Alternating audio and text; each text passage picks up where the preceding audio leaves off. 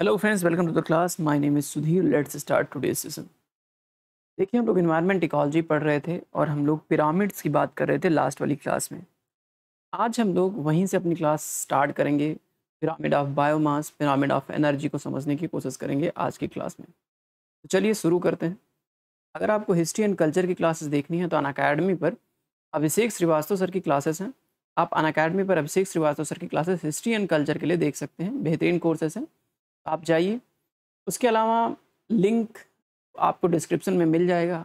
जितनी भी जानकारी, जो भी कोर्सेज चल रहे हैं एंशियंट हिस्ट्री की मेडिवल हिस्ट्री के art and culture modern Indian history के, ये सारे क्रैश कोर्सेज साथ ही साथ करंट और current affairs oriented classes current oriented classes भी आपको अन अकेडमी पर मिल जाएँगी सारी क्लासेस देखिए हिस्ट्री एक ऐसा सब्जेक्ट है जिसमें वास्ट नॉलेज की ज़रूरत है। और अगर आप पिक नहीं कर पाए कि क्वेश्चन कहाँ से आते हैं तो बड़ा मुश्किल हो जाएगा। इसलिए अगर आपको जानना है कि क्वेश्चन आने की पॉसिबिलिटी किन टॉपिक से ज़्यादा है, या कौन सा ऐसा सेगमेंट है जहाँ से क्वेश्चन हो सकता है इस बारी ज़्यादा आए तो उसके लिए जो अभी सर ने करंट ओरिएंटेड क्लासेस स्टार्ट करी हैं, आप उसको जाके देख सकते हैं। डिस्क्रिप्शन में आपको सारी जानकारी दे दी जाएगी। आप T T one zero zero करके कूपन कोड भी यूज़ कर सकते हैं, ताकि आपको मैक्सिमम डिस्काउंट अवेल हो सके अन अकेडमी के कोर्सेज पे। हम जो पढ़ रहे थे, एक बार फिर से आपका रिकैप करवा देता हूँ कि हम लोग क्या पढ़ रहे थे, कहाँ पे थे। हम लोग पिलर फ़र्स्ट पिलर फ़र्स्ट में थे। पिलर फ़र्स्ट का जो टॉपिक नंबर था, वो टॉपिक नंबर फोर था। इसके बाद टॉपिक नंबर फिफ्थ जिसमें हम लोग गैस के साइकिल्स के बारे में पढ़ना स्टार्ट करेंगे, वो टॉपिक हमारा बचेगा। उसके बाद ये पिलर हमारा कंप्लीट हो जाएगा। तो हमने जो अब तक पढ़ा है, हमने चार टॉपिक्स पढ़े हैं, जिसमें चौथा टॉपिक हमारा चल रहा है। कुछ बेसिक चीज़ें बची हुई, उसको कंप्लीट करके हम इस चैप्टर से फुर्सत पा लेंगे तो देखो एनर्जी फ्लो पढ़ रहे थे। एनर्जी फ्लो में हमने बहुत सारी चीज़ें सीखी। जैसे कि एनर्जी का ट्रांसफ़र कैसे होता है। साथ ही साथ हमने पिरामिड्स को देखा। उसके अलावा हमने डिफरेंट डिफरेंट ट्रॉपिक लेवल्स में बहुत सारी चीज़ें समझने की कोशिश करी। जैसे कि डिफरेंट डिफरेंट ट्रॉपिक लेवल्स हमने समझा था। देखो, ये सब चीज़ें मैंने आपको बताया था। इकोलॉजिकल सक्सेसन मैंने पढ़ाया था आपको। फ़ूड चेन के बारे में बताया था फ़ूड बेब के बारे में बताया था इकोलॉजिकल पिरामिड और हमारा जो पांचवा और लास्ट टॉपिक बचेगा न्यूट्रिशन साइकिल वाला, जो हमारा ये बचा हुआ है। ठीक है तो इसको कंप्लीट करेंगे। जैसे इसको कंप्लीट करेंगे, हमारा ये टॉपिक कंप्लीट हो जाएगा, फिर हम सेकंड पिलर की ओर मूव करेंगे। तो ये सब चीज़ें हम लोग पढ़ चुके थे। Food ecological succession food chain food web ecological pyramid nutrition cycle ये सब कंप्लीट हो चुका है। ठीक है, अब इकोलॉजिकल पिरामिड्स में दो टॉपिक बचे हैं, इसको कंप्लीट कर लेते हैं यहाँ से। उसके बाद न्यूट्रिशन साइकिल को कंप्लीट करके हम ये पिलर को ख़त्म कर देंगे। चलिए। इकोलॉजिकल पिरामिड पे थे हम लोग। इकोलॉजिकल पिरामिड में मैंने आपको बता दिया था इकोलॉजिकल पिरामिड क्या करता है रिप्रेजेंट करता है ट्रॉपिक लेवल को डिफरेंट ऑर्गेनिज्म को बेस बेस्ड करता है ऑन देयर इकोलॉजिकल पोजीशन अपने उनकी जो पारिस्थितिकी स्थिति होती है, उसके हिसाब से वो बताता है कि भाई, कौन सा ऑर्गेनिज्म किसी ट्रॉपिक लेवल में कहाँ पर होगा।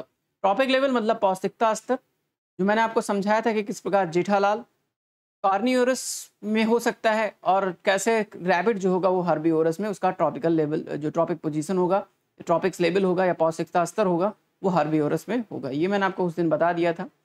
ओके चलिए। दो चीज़ें हमने देखी थी, जो ट्रॉपिक लेवल होता है, पौष्टिकता स्तर जो होता है, ये यूनी डायरेक्शनल होता है बाई नहीं होता है। कभी भी घास जो है वो चूहे को नहीं खाएगा, हमेशा चूहा ही घास खाएगा या खरगोश ही घास खाएगा, घास खरगोश नहीं खाएगा। ऐसा नहीं हो सकता, यानी यूनी डायरेक्शनल होगा एनर्जी डिक्रीज करती है नीचे से ऊपर जाने पे, ठीक है? फ़र्स्ट ट्रॉपिक लेवल से, जैसे जैसे आप ऊपर जाएँगे, वैसे वैसे एनर्जी घटती चली जाएगी, ठीक है? ये सब चीज़ें हमने देखी थी लास्ट वाली क्लास में। अब हमने देखा था पिरामिड ऑफ़ नंबर के बारे में, मैंने आपको बताया था कि नंबर संख्या के मामले में कैसा पिरामिड बनेगा अपराइट बनेगा या इन्वर्टेड बनेगा। अपराइट मतलब सीधा और इन्वर्टेड मतलब सीधा और इन्वर्टेड मतलब उल्टा।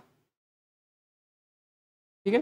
तो मैंने आपको बताया था कि किस कंडीशन में अपराइट बनेगा, किस कंडीशन में इन्वर्टेड बनेगा। देखो, मैंने बताया था आपको कि जब हम बात करते हैं ग्रास इकोसिस्टम की या पॉन्ड इकोसिस्टम की ग्रास इकोसिस्टम में सबसे ज़्यादा मात्रा किसकी होती है? घास की प्राइमरी प्रोड्यूसर्स की होती है। ग्रास की प्लांट्स की, ठीक है? इसकी क्या होती है? संख्या सबसे ज़्यादा होती है। तो संख्या पिरामिड ऑफ़ नंबर की बात करें नंबर कितनी किसकी ज़्यादा होगी? ज़ाहिर सी बात है कि जो जो प्रोड्यूसर्स होंगे, उनकी संख्या सबसे ज़्यादा होती है। चाहे वो फाइटो की बात कर लो, चाहे आप ग्रास की बात कर लो, चाहे आप जो है, किसी भी ऐसे चीज़, जो प्राइमरी प्रोड्यूसर्स हैं, उनकी बात कर लो तो प्राइमरी प्रोड्यूसर्स की जब भी बात करोगे तो आप नंबर्स उनकी सबसे ज़्यादा मात्रा में होती है। तो ग्रास इको और पाउंड इको मैंने आपको बताया था कि ग्रास इको और पाउंड इको में हमेशा पिरामिड ऑफ़ नंबर सीधा बनता है, उल्टा नहीं बनता है अपराइट बनता है इन्वर्टेड नहीं बनता है। ठीक है? ये बात मैंने आपको बताई थी। नंबर ऑफ़ इंडिविजुअल की संख्या क्या होती है? वो ऊपर जाने पे घटती है, नीचे आने पे बढ़ती है। उसके बाद मैंने आपको बताया था कि अगर ट्री इकोसिस्टम की बात करो, अगर कोई प्लांट कोई ट्री है ट्री इकोसिस्टम की, क्योंकि ट्री पे बहुत सारे बर्ड्स होते हैं, उन बर्ड को खाने के लिए बहुत सारे पैरासाइट्स होते हैं पैरासाइट्स के लिए बहुत सारे हाइपर पैरासाइट्स होते हैं। तो ये सब चीज़ें होती हैं। तो अगर ट्री की बात करें तो ट्री का नंबर की बात करें तो एक ट्री ट्री है, एक सिंगल ट्री है। सिंगल पेड़ पे सिंगल पेड़ पे कितने? बहुत सारे हर्बियोरस हैं। वहाँ सपोज़ करो कि एक लाख हर्बियोरस हैं। और एक लाख हर्बियोरस पे दस लाख पैरासाइट्स हैं। ठीक है, दस लाख पैरासाइट्स पे एक करोड़ हाइपर पैरासाइट्स हैं। तो इस प्रकार अगर हम ऊपर से नीचे आते हैं तो नंबर क्या होता है? घटता है। यानी कि इन्वर्टेड बनना चाहिए इसका पिरामिड। और अगर नीचे से ऊपर जाएँ तो संख्या बढ़ेगा। यानी कि इन्वर्टेड बनेगा पिरामिड। ठीक है, उल्टा बनेगा पिरामिड। ऊपर ऊपर सबसे ज़्यादा होगा मात्रा में जो भी ऑर्गेनिज्म होगा। नीचे जो ऑर्गेनिज्म होगा, उसकी संख्या कम होगी। बाकी स्पिंडल सेप की भी बात करी थी हमने लास्ट टाइम में कि स्पिंडल सेप क्या चीज़ होता है। आई होप कि ये सब चीज़ें आपको समझ में आई होंगी। अब जो है, अब मूव करते हैं हम लोग अपने नेक्स्ट टॉपिक पे, जिसका नाम है pyramid of biomass pyramid of biomass क्या चीज़ है? इसको समझने की कोशिश करते हैं। स्लाइड आपके सामने है, जरा पढ़िए एक बारी कि क्या कहना चाह रहा है और समझने की कोशिश करिए खुद से कि इस पिरामिड ऑफ़ बायोमास का क्या मतलब है।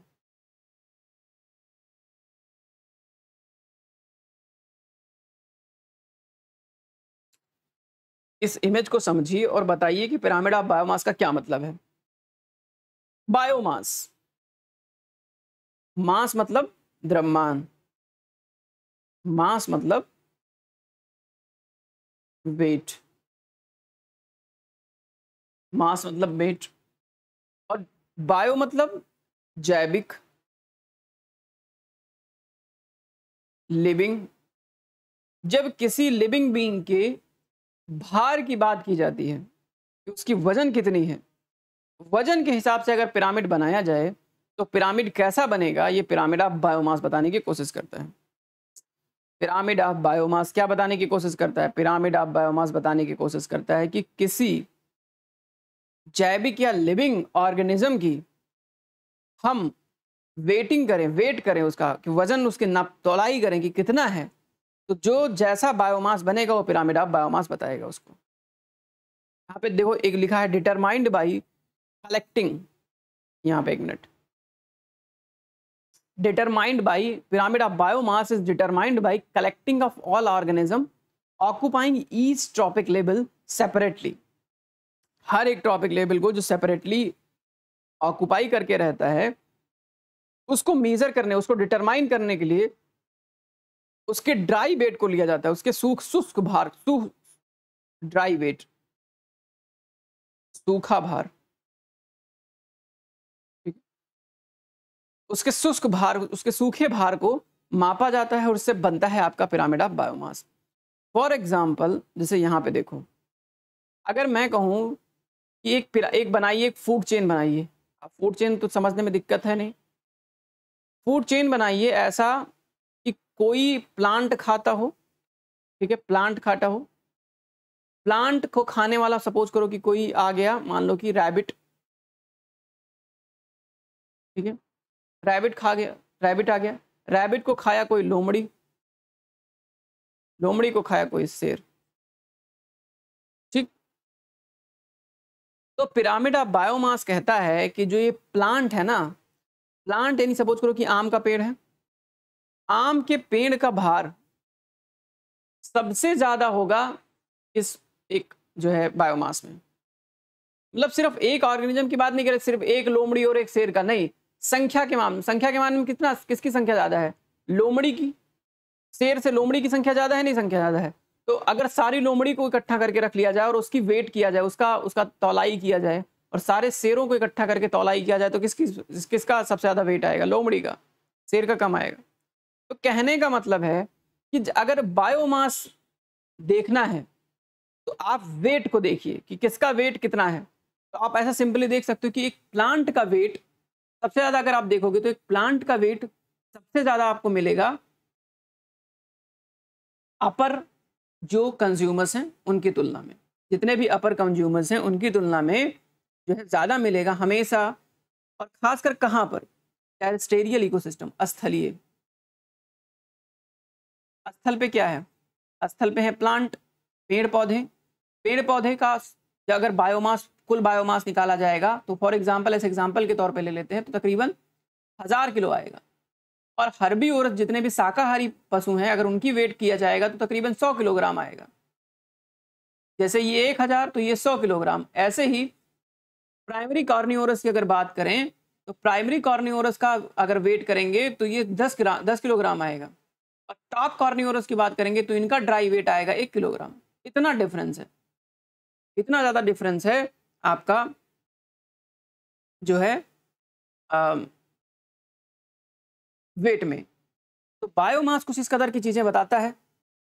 पिरामिड ऑफ़ बायोमास को याद रखने का अच्छा तरीका इस इमेज को याद रखिए। इस इमेज में जेठालाल कहता है बापूजी ये मशीन झूठ बोल रही है। क्यों झूठ बोल रही है? क्योंकि जेठालाल का ये वज़न ज़्यादा बता रही है। ठीक है? वज़न की बात कर, करी जाती है पिरामिड ऑफ़ बायोमास। और जेठालाल कहाँ पे रहता है? टेरेस्टेरियल इकोसिस्टम में स्थल पे रहता है। स्थल पे रहने के कारण से जो है, हमेशा स्थल पे रहता है तो इसका जो पिरामिड होगा, स्थलीय पिरामिड हमेशा सीधा बनेगा। तो ऐसे याद कर लो कि जेठालाल का जो पिरामिड होगा, वो बायोमास का पिरामिड हमेशा सीधा बनेगा। ऐसा करके याद रख लो तो याद रह जाएगा कि जेठालाल का जो बायोमास का पिरामिड होगा, वो सीधा बनेगा, अपराइट बनेगा, ना कि इन्वर्टेड बनेगा। हमेशा इन्वर्टेड अपराइट में ही कन्फ्यूज़न होती है लोगों को यार क्या सीधा बनेगा, क्या उल्टा बनेगा। तो जब भी बात आए टेरिस्टेरियल की, जैसे हमने लास्ट वाले में बात किया था ना, कि पेड़ की बात करूँ पिरामिड ऑफ़ नंबर में तो नंबर में आपको याद रखना है कि अगर पेड़ इकोसिस्टम है ट्री इकोसिस्टम है ट्री इकोसिस्टम का हमेशा पिरामिड ऑफ़ नंबर वो उल्टा बनेगा या स्पिंडल शेप में बने, सीधा नहीं बन सकता है।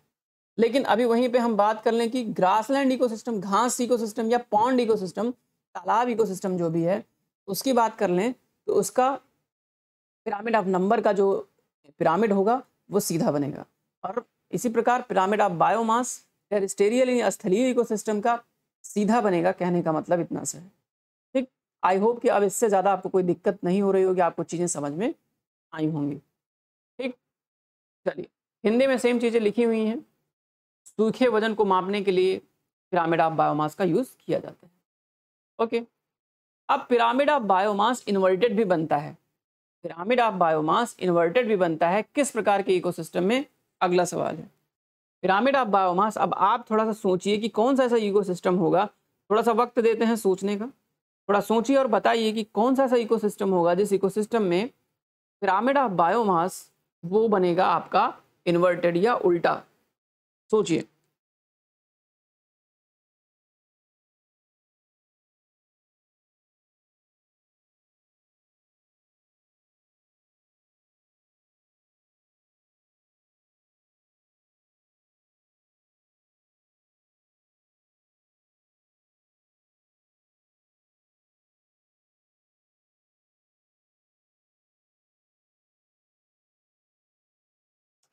आई होप कि आपने सोच लिया होगा। सिंपल सा जवाब है इसका। Pyramid of aquatic ecosystem.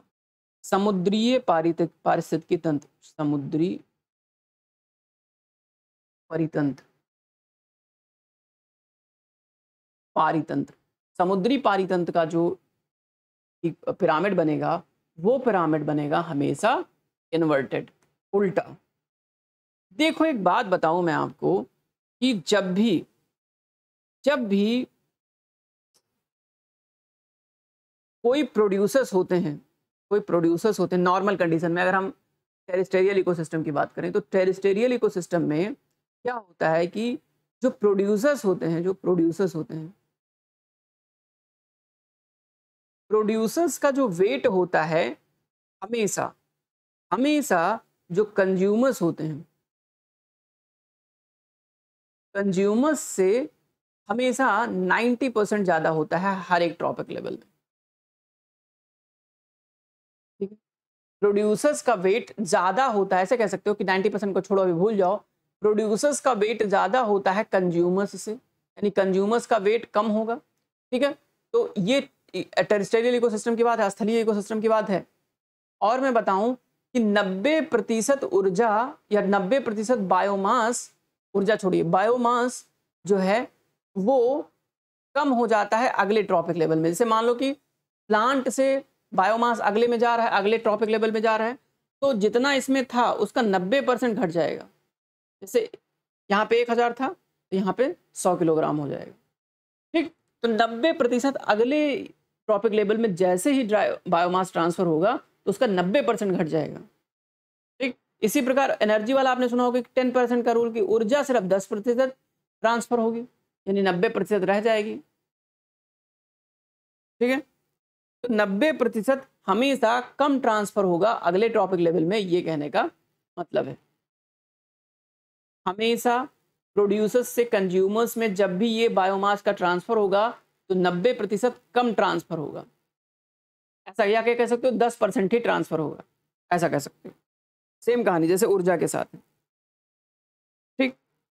तो ऐसा कह सकते हो कि 90 percent of biomass at lost at each trophic level हर एक ट्रॉपिक लेवल पर तकरीबन 90 प्रतिशत बायोमास का लॉस हो जाता है। ठीक है? ऐसा इसलिए होता है। अब सवाल हो सकता है कि भाई ऐसा क्यों हो जाता है? क्यों नहीं? हम पूरा शेर खाते हैं और पूरा मान लीजिए पूरा बकरी खाते हैं और पूरा बकरी का पूरा बायोमास हमारे पास क्यों नहीं आ जाता है? ऐसा इसलिए होता है कि मोस्ट ऑफ़ द बायोमास किसी भी, जैसे मान लो कि बकरी है तो बकरी का सारा पार्ट आप नहीं खाते हो, कुछ ही पार्ट खाते हो, बाकी रिमेनिंग पार्ट क्या करते हो? आप फेंक देते हो, या उसको जो भी करते हैं, जैसे भी करते हैं, उसको नहीं यूज़ करते, नहीं कर तो most of the biomass is not eaten और वो क्या हो जाता है? वो डिकम्पोजर्स के द्वारा डिकम्पोज किया जाता है। जैसे कि मान लो मुर्गा है या बकरी है, उसको अगर कोई खा रहा है तो ज़ाहिर सी बात है कि उसका पर वगैरह या जो पंखुड़ी वगैरह, उसको तो नहीं खाएँगे, उसको तो हटा देंगे, उसको कौन खाएगा? उसको डिकम्पोजर्स डिकम्पोज करेंगे।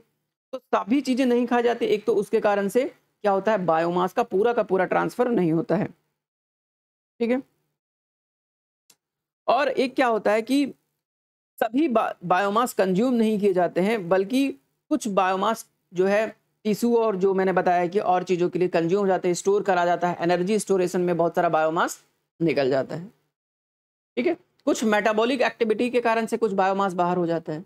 तो इन सब के चलते पूरा का पूरा बायोमास ट्रांसफ़र नहीं होता है एक पीढ़ी एक पीढ़ी से दूसरी पीढ़ी में, एक ट्रॉपिक लेवल से दूसरे ट्रॉपिक लेवल में एक पोषण स्तर से दूसरे पोषण स्तर में इस प्रकार ट्रांसफ़र नहीं होता है। अब लौट के आते हैं इक्वेटिक इकोसिस्टम में। इक्वेटिक इकोसिस्टम क्या चीज़ है? इक्वेटिक इकोसिस्टम में क्या जो है चीज़ें जो है बताई जाती हैं बायोमास के तौर पे? देखो एक्वेटिक इकोसिस्टम में क्या होता है कि हमेशा अगर देखो छोटी छोटी मछली होती है छोटी छोटी मछली छोटी छोटी मछली छोटी छोटी मछली। छोटी छोटी मछली को कौन खाएगा? बड़ी मछली खाएगी। हाँ? छोटी मछली को कौन खाएगा? बड़ी मछली खाएगी, इस प्रकार। तो बना दी मछली मैंने। काम चलाऊँ मछली। ऐसे इधर भी पर लगा देते हैं और इधर भी लगा देते हैं। पता नहीं, बनी नहीं बनी, एरोप्लेन बन गया, चिड़िया बन गई सर छोड़ो, कुछ भी बन गया। हम इसको मानते हैं कुछ देर के लिए? फिस। ठीक? हम फ़िश कह दें। अब इस, ये छोटी छोटी फ़िश हैं छोटी छोटी फ़िश को कौन खाएगा? बड़ी फ़िश खाएगी। इस फ़िश को कौन खाएगा? वेल मछली खा लेगी, और बड़ी। ठीक है? और बड़ी मान लो, इतनी बड़ी फ़िश वेल मछली। तो कहानी ऐसे है कि जब इक्वेटिक इकोसिस्टम की बात करते हैं तो भार के मामले में सबसे बड़ा कौन होता है? वेल संख्या उसकी क्या होती है? कम। संख्या कम, लेकिन भार के मामले में ज़्यादा होती है।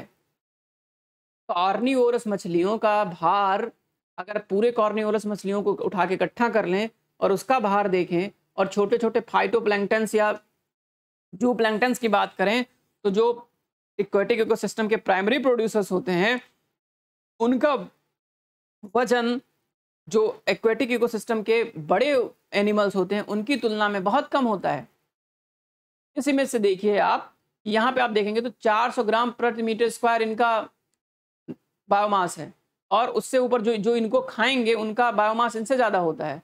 और कार्नी औरत जो और बड़े बड़े होते हैं वेल मछलियाँ टाइप की होती है, उनका जो बायोमास होता है बारह ग्राम पर मीटर स्क्वायर है। तो आप सोचो कि सबसे ज़्यादा वेट किसका है? सबसे ज़्यादा वेट इसका है। और सबसे कम वेट किसका है? सबसे कम वेट इसका है। तो पिरामिड ऑफ़ बायोमास कैसे बनता है? पिरामिड ऑफ़ बायोमास हमेशा एक्वेटिक इकोसिस्टम में उल्टा बनता है। आई होप कितनी बात क्लियर हो गई होगी। मुझे नहीं लगता है कि इतना समझने में आपको दिक्कत है। अगर दिक्कत है तो मुझे कमेंट सेक्शन में फटाफट बताइए। ठीक है?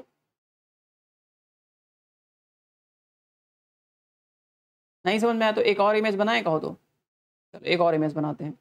हम समझने की कोशिश करते हैं wait pyramid of aquatic ecosystem ऐसे बनेगा मेरे हिसाब से, मैंने ऐसा बताया। नीचे होंगे फाइटोप्लैंक्टन फाइटोप्लैंक्टन के बारे में मैंने आपको बताया, जो कि प्राइमरी प्रोड्यूसर्स होते हैं, जो कि कीमो सेंथिसिस प्रोसेस से क्या करते हैं, अपनी ऊर्जा बनाते हैं। हाइड्रोजन सल्फाइड की मदद से। थर्मल बेंट के बारे में मैंने आपको पढ़ाया था। थर्मल बेंट क्या चीज़ होता है? पहले के क्लासेस मैंने पढ़ाया हुआ है, आप जाके देख सकते हैं वीडियोस अब फाइटोप्लैंक्टन को कौन खाएगा? कौन खाएगा बताइए।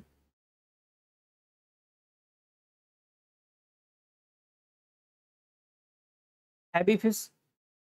उसके बाद इनको कौन खाएगा? इनको खाएँगे कॉर्नी फोरस और इनको कौन खाएगा? सार्क होयल मछली। एंड सार्क तो सार्क का वेट ज़्यादा होता है फाइटोप्लैंक्टन का कम होता है पिरामिड ऑफ़ बायोमास ये बताता है। संख्या हो सकता है नंबर हो सकता है कि फाइटोप्लैंक्टन का ज़्यादा हो, लेकिन वेट अगर किया जाएगा तो वेट के मामले में, इनका वज़न के मामले में बायोमास के मामले में हमेशा वेल ज़्यादा होगी फाइटोप्लैंक्टन से। पेड़ वाला दिमाग मत लगा दीजिएगा कि पेड़ वाला दिमाग लगा के इसको काट दें। ठीक? ठीक है?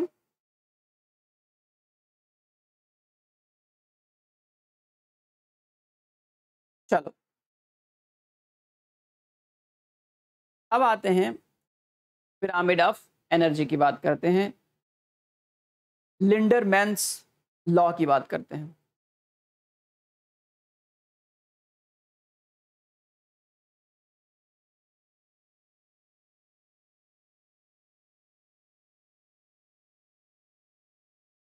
Ten percent rule. देखो pyramid of pyramid of energy किस बात की बात करता है? पिरामिड ऑफ़ एनर्जी क्या चीज़ होती है? इसको समझ लेते हैं पिरामिड ऑफ़ एनर्जी क्या चीज़ है? रिप्रेजेंट करता है the amount of energy at each trophic level and loss of energy at transfer to another trophic level एक पोषण स्तर से दूसरे पोषण स्तर में ऊर्जा के ट्रांसफ़र को दर्शाने का काम करता है आपका पिरामिड ऑफ़ एनर्जी एक पोषण स्तर से, दूसरे पोषण स्तर में। ऊर्जा को ट्रांसफ़र करने का काम कौन करता है? बताने ट्रांसफ़र को बताने का काम कौन करता है?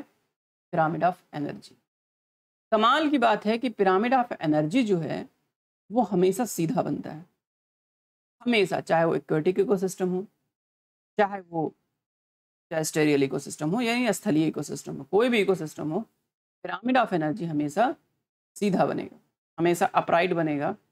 ये टेढ़ा मेढ़ा या उल्टा सीधा नहीं बनता, सिर्फ़ सीधा बनता है। एक रूल है जो मैंने आपको बताया, यहाँ पर लिखा था लिंडर्स मैन रूल एक बार फिर से मैं लिख देता हूँ। L I N D E M N Lindeman ये रूल कहता है कि एक पोषण स्तर से दूसरे पोषण स्तर में ऊर्जा का ट्रांसफ़र सिर्फ़ 10 परसेंट ही होगा। ऊर्जा का transfer only 10 percent of energy is transferable from lower to higher trophic level only यहाँ पे मैं लिख देता हूँ। Only 10 percent of energy is transferable from lower to higher topic level यानी कि 10 परसेंट ऊर्जा का ही ट्रांसफ़र होता है लोअर से हायर ट्रॉपिक लेवल में। ये लिंड्समैन रूल कहता है कि भैया, अगर 100 प्रतिशत ऊर्जा, या मान लो एक हज़ार किलो कैलोरी ऊर्जा किसी ग्रास में है, किसी घास को खान, किसी घास में इतनी ऊर्जा स्टोर्ड है, ठीक है? किसी घास में अगर एक हज़ार किलो कैलोरी ऊर्जा स्टोर है तो जब इस घास को कोई खाएगा तो उसका दस परसेंट ऊर्जा ही उसमें ट्रांसफ़र होगा। जैसे कि इस घास को अगर एक ग्रास ऊपर खाता है, टिड्डा खाता है तो टिड्डे में जहाँ इसमें एक हज़ार किलो कैलोरी थी तो उसका दस हज़ार किलो कैलोरी थी तो उसका एक हज़ार किलो कैलोरी ही इसको ऊर्जा प्राप्त होगी। अब इस ग्रासोपर को जो खाएगा, जितना ऊर्जा इसको मिला, उसका दस परसेंट इसको मिलेगा, यानी कि सौ किलो कैलोरी, फ्रॉग को, मेंढक को। मेढक के बारे में एक बात बताऊँ?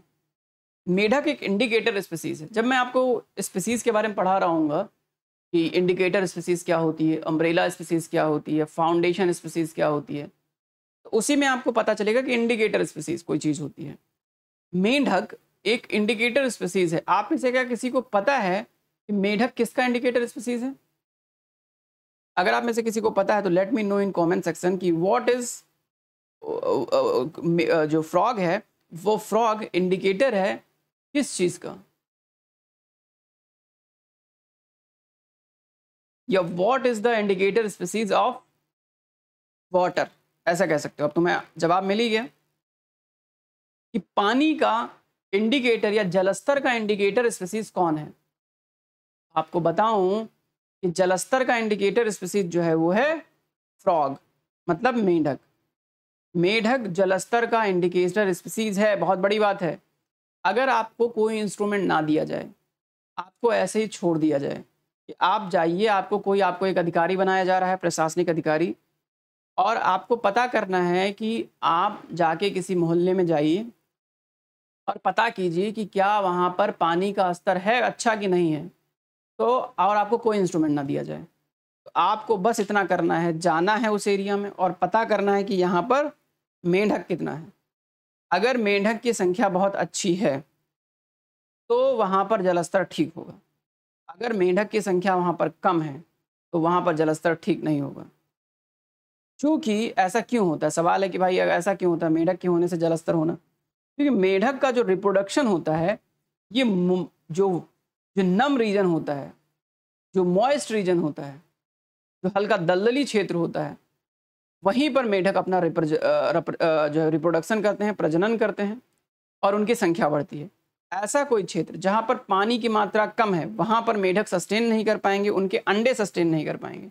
अंडे मर जाएँगे और मेढक की संख्या घट जाएगी और हम बता सकते हैं कि उस जगह पर पानी की मात्रा कम है। तो कहने का मतलब है, ये सब हम पढ़ेंगे इंडिकेटर स्पीसीज में पढ़ेंगे, ये सारा चीज़ पढ़ने वाले हैं। कहने का मतलब ये है कि फ्रॉग जो है, एक इंडिकेटर स्पीसीज है वाटर का। इसी प्रकार बहुत सारे इंडिकेटर स्पीसीज हैं। जैसे कि आप ले सकते हो एग्ज़ाम्पल के तौर पे आ, इसका क्या नाम है कौआ का गिद्ध का ये सब चूहे का ये सब इंडिकेटर जैसे चूहा वेस्ट का इंडिकेटर स्पीसीज है। यार इंडिकेटर स्पीसीज में ये सब चीज़ें बात करेंगे टॉपिक से हट जाएँगे हम लोग अगर इस पर बहुत डिटेल में चर्चा करने लगे तो। बस इतनी सी बात है मैं बता रहा था ऊर्जा ट्रांसफ़र तो ग्रॉस ओपर फ्रॉग फ्रॉग को मिला सौ किलो कैलोरी। मैंने यहाँ पे आपको बताया कि ग्रास ओपर को खाया फ्रॉग ने, फ्रॉग को मिला सौ कैलोरी। अब इस मेढक को कोई खाएगा, सपोज़ करो कि ये सांप खा लिया तो सांप को मिलेगा दस किलो कैलोरी। और सांप को कोई खा ले, कोई बाज खा ले तो उसको मिलेगा सिर्फ़ एक किलो कैलोरी। इसीलिए कहा जाता है कि आप वेजिटेरियन खाइए, क्योंकि वेजिटेरियन में ज़्यादा ऊर्जा है। वेजिटेरियन में ज़्यादा ऊर्जा है, ऐसा इसलिए कहा जाता है क्योंकि पिरामिड ऑफ़ एनर्जी बताता है, केवल 10 percent of energy is transferable. केवल 10 परसेंट ऊर्जा ही एक पोषण स्तर से दूसरे पोषण स्तर में ट्रांसफ़र हो सकती है। ठीक है? लिंसमैन रूल कहता है कि भाई, केवल 10 परसेंट ऊर्जा ही ट्रांसफ़र होगी। तो जब आप 10 परसेंट ऊर्जा ही आपको ट्रांसफ़र होगी तो ऑब्वियसली आपको कोशिश करनी चाहिए कि आपको वेजिटेरियन खाना चाहिए। वेजिटेरियन खाने के बहुत सारे फ़ायदे हैं। फ़ायदा तो ये है कि बायो मैग्निफिकेशन जब मैं कॉन्सेप्ट आपको पढ़ाऊँगा, जैव आवर्धन जैसे एक मछली होती है तो बहुत सारी चीज़ों को खाती रहती बहुत सारे पॉल्यूटेंट जैसे बहुत सारा इंडस्ट्रियल वेस्ट है, वो भी जाता है हाँ? बहुत सारी चीज़ें जाती हैं पानी में डे टू डे का मल जाता है उसमें तो ये सब मछली खाती है। जब मछली ने इतनी गंदगी खाई हुई है, आप उस मछली को सीधे खा लेते हैं तो आपके अंदर कितना पॉल्यूशन चला जाता है। मैं कोई धार्मिक लिहाज से नहीं बोल रहा हूँ। इन्वायरमेंटल दृष्टिकोण से बोल रहा हूँ कि आपको वेजिटेरियन खाना चाहिए। वेजिटेरियन खाने से आपका बॉडी ज़्यादा दिन तक सस्टेन करता है, आप में ग्लो रहता है और आपको ज़्यादा ऊर्जा महसूस होती है कंपेरिजन नॉन वेज खाने से। लोगों में ये मिथ बना हुआ है कि नॉन वेज खाने से ज़्यादा ऊर्जा और ज़्यादा फैट मिलता है बट ऐसा नहीं है। ज़्यादा ऊर्जा मिलती है आपको वेजिटेरियन खाना खाने से। इसलिए आपने देखा होगा कि एथलीट्स जो होते हैं, जैसे कि विराट कोहली या कोई और जितने भी एथलीट्स होते हैं, ये लोग हमेशा कोशिश करते हैं वेज खाएँ। और कुछ लोग तो वीगन हो जाते हैं वीगन डाइट वीगन का मतलब क्या है? वीगन का मतलब है कि वेज तो खाएँगे ही खाएँगे। साथ ही में मिल्क या मिल्क से बना हुआ कोई प्रोडक्ट ये भी नहीं खाएँगे। कहने का मतलब है कि मिल्क और मिल्क से बना हुआ कोई भी प्रोडक्ट जैसे कि आप पनीर ले लीजिए, आप दही ले लीजिए, ये सब चीज़ भी नहीं खाएँगे जो लोग वीगन होते हैं। प्योर वेजिटेरियन हो जाते हैं लोग। कोई रिलीजियस रीजन नहीं होता है, बस सिर्फ़ और सिर्फ़ एनर्जी के लिए। ठीक? तो पिरामिड ऑफ़ एनर्जी जो बात बता रहा था, मैंने आपको समझा दिया कि पिरामिड ऑफ़ एनर्जी किन बातों की चर्चा कर रहा था। आई होप कि आपको ये चीज़ें क्लियर हो गई हूँ। अब हमारा जो नेक्स्ट टॉपिक है, वो है न्यूट्रिशन साइकिल जो कि हमारे जो हम, हमने अपना वो देखा था, क्या नाम है इंडेक्स इंडेक्स में हमारा ये जो पांचवा टॉपिक है, ये देखिए। पांचवा topic biogas biogeochemical cycling and nutrition cycles इसको समझना है हमारा। हमें ये नेक्स्ट टॉपिक में हम लोग समझने की कोशिश करेंगे। और, ये जो टॉपिक होगा, बहुत डिटेल में समझने के दो वीडियोज़ आएँगे इसके लिए। पूरा न्यूट्रिशन साइकिल और पूरा गैस साइकिल समझने के लिए। कार्बन नाइट्रोजन सल्फ़र ठीक है, ये सब बहुत इंपॉर्टेंट गैसें हैं। कैसे काम करती हैं, इसका क्या रोल है, अगर ये रुक जाए साइकिल तो एटमॉस्फेरिक कंसनट्रेशन कैसे बिगड़ जाता है?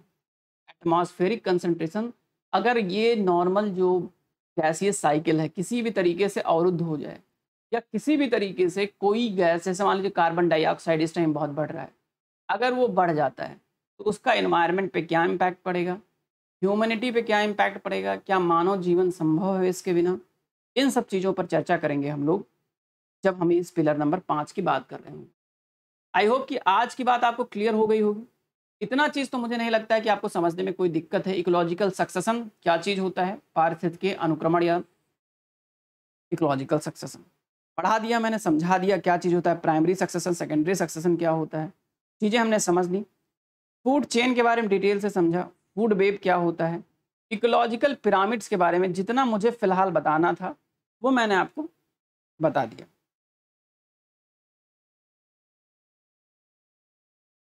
ठीक?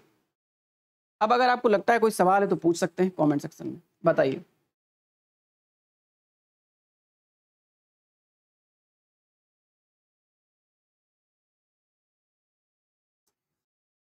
जब मैं ये वीडियो अपलोड कर रहा होऊँगा, उस वक्त मैं लाइव होऊँगा। जो सवाल आप पूछ रहे हैं, मैं इसका जवाब या तो मैं नोट करके रखूँगा, अगले कोई, अगले सेगमेंट में दूँगा, या तो हाथों हाथ वहीं पे जवाब दे दूँगा, जिस टाइम ये वीडियो प्रीमियर हो रहा होगा। वीडियो प्रीमियर करवाएँगे, कुछ दिन में हम लाइव भी जाएँगे क्योंकि लाइव का फ़ंक्शन अभी ओपन नहीं होता है स्टार्टिंग में। कुछ दिन में लाइव भी जाया जाएगा बट इनिशियली अभी फ़िलहाल के लिए हम प्रीमियर करवाएँगे वीडियो प्रीमियर में जो भी चीज़ें आएँगी, आप उसको, जो भी कमेंट है आपका, जो भी आपका क्वेरी है, उसको आप पूछ सकते हैं। ओके। इकोलॉजिकल पिरामिड में हमने तीन चीज़ें पढ़ी। क्या क्या तीन चीज़ें पढ़ी? चलिए एक बार फिर से देख लेते हैं। ये वाला टॉपिक यहाँ पे देखिए फ़ूड चेन कंप्लीट हो गया था। कैसे कैसे चीज़ें पढ़ी हमने? ये सब चीज़ें हमने पढ़ ली थी। फ़ूड चेन क्या है? फ़ूड चेन दो प्रकार के होते हैं। ग्रेजिंग फ़ूड चेन और डेट्रियस फ़ूड चेन क्या चीज़ें समझा दिया था। ठीक है? फ़ूड बेब के बारे में समझा था। और कैसे फ़ूड वेब अगर प्रभावित हो जाए तो पूरा इकोसिस्टम परेशान हो जाता है। ये चीज़ हमने समझा था। ओके? उसके बाद मैंने आपको एमेंसिलिज्म कमेंसिलिज्म के बारे में बायोटिक इंटरेक्शन के बारे में बताया था। इसमें amensalism commensalism parasitism predation cannibalism और कंपटीशन क्या चीज़ होती है, चीज़ें हमने बहुत अच्छे तरीके से समझी थी। फिर मैंने आपको बताया था कि ये जो मधुमक्खी होती है, ये कैसे एक म्यूचुअलिज्म का एग्ज़ाम्पल है। कैसे फ्लावर्स को मधुमक्खी से और मधुमक्खी को फ्लावर से फ़ायदा है, ये चीज़ें हमने समझी थी लास्ट वाली क्लासेस में। फिर मैंने आपको इकोलॉजिकल पिरामिड समझाया। ट्रॉपिक लेवल क्या होता है समझाया। इकोलॉजिकल पोजीशन क्या होता है। किस प्रकार जेठालाल का पोजीशन कहाँ होगा ये आप समझा सकते हैं आपकी कौन सा पोजीशन में। ये बताओ मेरी पोजीशन फ़ूड चेन में कहाँ है। तो आप बता सकते हैं कि मैं इस, इनका पोजीशन कहाँ पे हो सकता है। पॉसिबिलिटी क्या है? ये कहाँ पर रहें। ठीक? फिर मैंने आपको इसकी कुछ विशेषताएँ यूनिडायरेक्शनल और एनर्जी डिक्रीज होगा इसको मैंने बताया आपको। फिर हमने चर्चा की पिरामिड ऑफ़ नंबर क्या चीज़ होता है और पिरामिड ऑफ़ बायोमास क्या होता है। मैंने बताया कि पिरामिड ऑफ़ नंबर जो घास इकोसिस्टम होता है, ग्रास इकोसिस्टम होता है और पॉन्ड इकोसिस्टम होता है, उसका पिरामिड ऑफ़ नंबर सीधा बनता है और जो ट्री इकोसिस्टम होता है, उसका पिरामिड ऑफ़ नंबर उल्टा बनता है या स्पेंडल शेप में बनता है, कुछ इस प्रकार। ठीक, ये चीज़ें हमने चर्चा करी।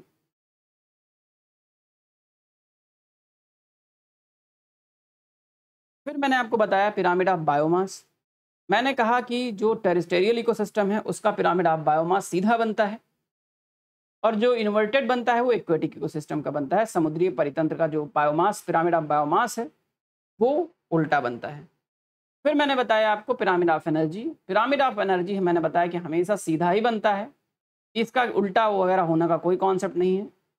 और हमेशा एक ट्रॉपिक लेवल से दूसरे ट्रॉपिक लेवल में ऊर्जा का ट्रांसफ़र सिर्फ़ दस परसेंट ही होता है। ये कहते हैं लिंसमैन रूट। ये चीज़ें हमने आज तक समझ ली हैं।